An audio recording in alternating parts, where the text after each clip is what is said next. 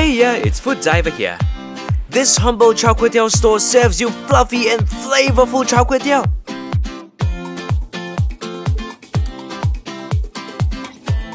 Check out restaurant Kum Ying in Selayang. The char kway teow here is stir-fried to perfection with wildfire and added in egg and a handful of fresh and plump prawns and sea hums.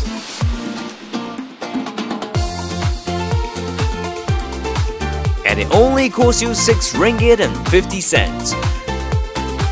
Perfectly cooked and packed with flavors. Tag your friends who love kway teow.